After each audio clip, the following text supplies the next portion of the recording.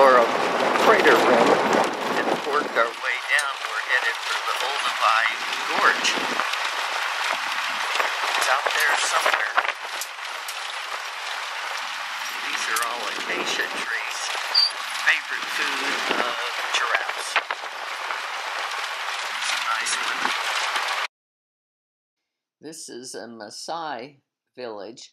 The Maasai and their livestock wandered into this area about 200 years ago. They pushed off the people who were there. But both groups were pastoralists, living almost solely on their livestock, which they revere above anything else. Traditionally, they were nomadic, but today they're more settled. Some of our group visited this village. Some people lived there, but others were walking from further away. Here's our vehicles parked in their parking lot.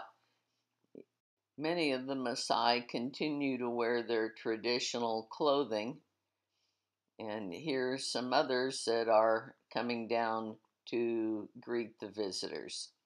While some use modern transportation, here's their traditional way of moving supplies, I think including water. And you see the way they walk, the front leg and the rear leg of the same side move together. While the other animals move zigzag. Here's the entrance into the Olduvai Gorge. Today there's a nice modern museum telling about the discoveries of early man in Africa. Going into the new Olduvai Museum, funded by the EU and the Ngorongoro Conservation Area Authority, which covers about the size of Massachusetts. Really pretty doors. And inside, we have this nice museum.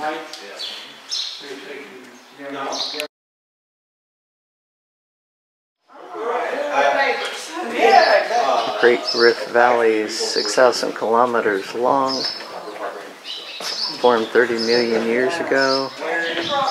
There's volcanoes. It's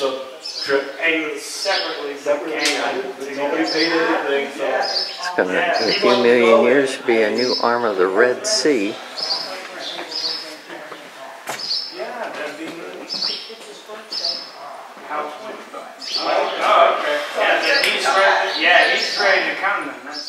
This is a reproduction of Lucy, and you can see where there's bones and where they've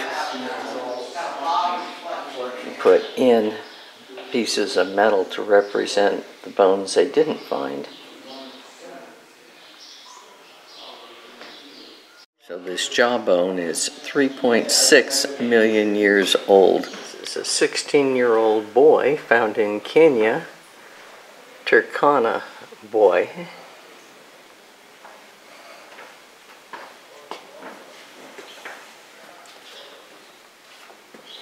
This young man is 1.6 million years young. Homo sapiens, about 200,000 years ago. This is an artist's rendition of the fossil that the Leakeys found in 1959 near here in the gorge.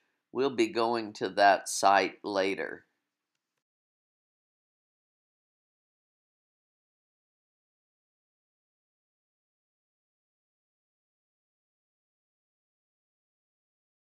There's a group of people in Tanzania uh, called the Hadzu, and they live around modern Lake Eyasi, sometimes in bands of 20 to 30 people. There's only about a thousand of them, but at least half of them are strict hunter gatherers. Others engage in agriculture, trade, and wage labor.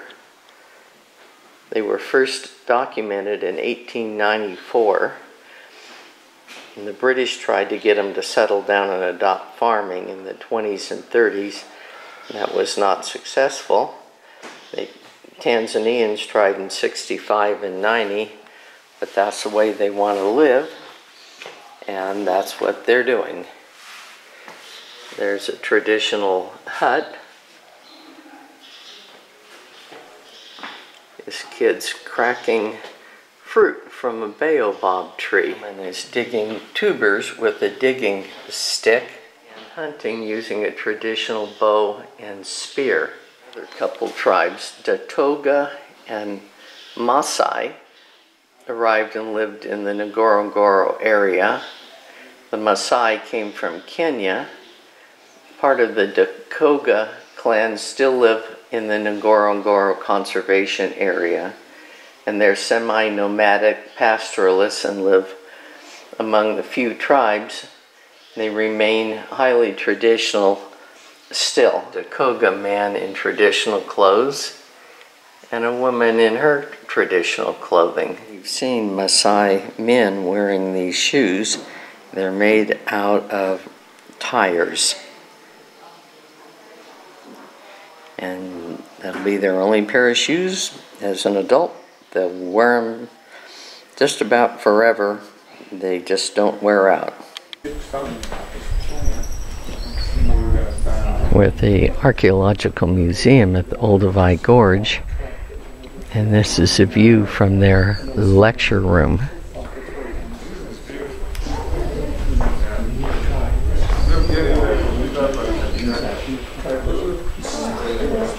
The road going down into the gorge it leaves a lot to be desired.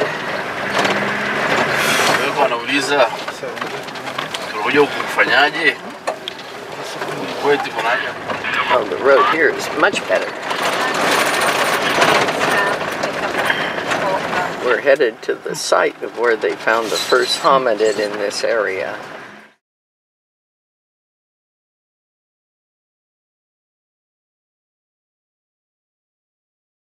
At the site of where Mary Leakey in 1959 found the skull of Australopithecus boisei. As they say it, every June, July, and August, excavation is going on. Mm -hmm. And this is just one of uh, many sites where they excavate to get the remainings. Yeah, still going on. Everything they see, it is a stone or it's a bone, something look like that. You know, they will concentrate on that and in that particular area, they will dig carefully to make sure that if it is an animal, the whole entire skeleton was, you know, recovered. Yeah, was covered. Then they would try uh, get it the way it is. Now we have arrived at the site where the Leakeys lived I don't know, permanently or seasonally for many years while they were doing their excavations in the area. This is the Land Rover used by the Leakeys when they did their excavations here in the 60s. Here's where the Leakeys stayed when they were at Olduvai Gorge. Here's the interior. I would consider it to be rather Spartan. This is Mary Leakey's lab, and the government of Tanzania has been refurbishing the site so that more tourists will come see where the Leakeys stayed. One member of our group asked if we could come visit the camp, and our tour director never been here, so this was new for him, and we were the only tourists there. This is inside the lab, and it shows some of the excavation things that would have been there in the 60s. And here's the uh, kitchen. It was what you would find at a campsite. Pretty minimal, but hey, it worked.